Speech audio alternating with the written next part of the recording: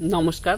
আজ আবার এলাম একটা নতুন আলোচনায়। তো আজ আর আলোচনা করব না, আজ দেখাবো। যে দেখুন, আজ থেকে প্রায় এক থেকে দেড় বছর দেড় বছর আগে আমি এই গাছটা লাগিয়েছিলাম। তো আজকে সেই গাছটার ফল এসেছে। তো সেই গাছের ফলটা পেকেও গেছে। আগে আমি ভিডিও করার সুযোগ পাইনি বা সময় পাইনি। তো আজ সেটা দেখাবো। তো চলুন, আপনাদের দেখাই। আপনারা সবাই জানেন যে ড্রাগন ফ্রুট, এই নামটা তো অবশ্যই শুনেছেন। আর আমি এটা আজ বাড়িতে লাগিয়েছিলাম। তো এরকম যদি বাড়িতে এক দুটো গাছ থাকে, তাহলে আর কিনে খাওয়ার প্রয়োজন পড়ে না এই ড্রাগন ফ্রুটের কারণ ড্রাগন ফ্রুটের দামটা একটু বেশি, যেহেতু এটা এক্সোটিক ফ্রুট তাই দামটা বেশি। তো চলুন আপনাদের গাছটা দেখাই এবং ফলটা পেকে গেছে, সেটাও আমি পেড়ে নেব।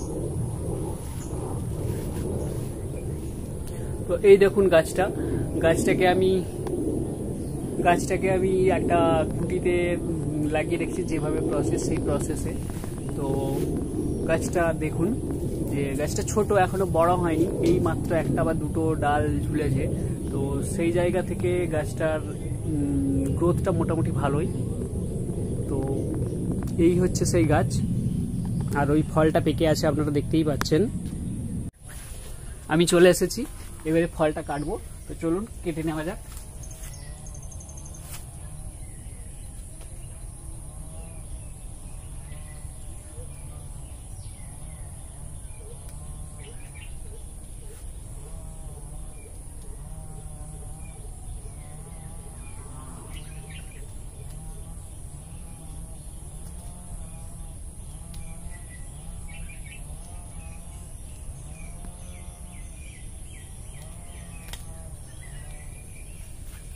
তো ফলটাকে পেড়ে নিলাম। এবার আপনাদের দেখাবো যে ফলটা কেমন।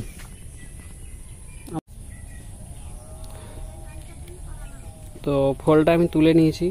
আর এই যে দাগগুলো দেখেছেন, দেখতেই পাচ্ছেন যে এই দাগগুলো, এগুলো কিন্তু কিছুই না। এগুলো যখন ফলটা ফুল এসেছিল, তখন প্রচণ্ড পরিমাণে পিঁপড়া লেগেছিল, প্রচণ্ড। এই যে সাদা সাদা দাগগুলো দেখছেন, এগুলো কিন্তু কিছুই না। এগুলো হচ্ছে পিঁপড়া তাড়ানোর জন্য ওষুধ দেওয়া হয়েছিল, সেগুলো এগুলো এগুলো উঠে যাবে ধুয়ে দিলে।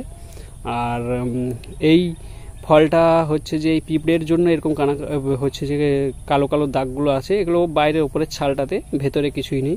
তো ফলটা কত গ্রাম হয়? ফার্স্ট প্রথম ফল। দেখা যাক প্রায় একশো গ্রাম মতোই হবে। ভিডিওটা যদি ভালো লেগে থাকে, তাহলে ভিডিওটিকে লাইক করুন। আর এই রকম নতুন ফলের গাছের সম্পর্কে বা নতুন চাষ সম্পর্কে যদি জানতে চান, তাহলে এই চ্যানেলটাকে সাবস্ক্রাইব করে রাখুন। আর আপনারা কোন চাষ সম্পর্কে জানতে চান সেটা কমেন্টে জানান, তাহলে আমি সেই চাষের ভিডিও আপলোড করার চেষ্টা করব আপনাদের সামনে।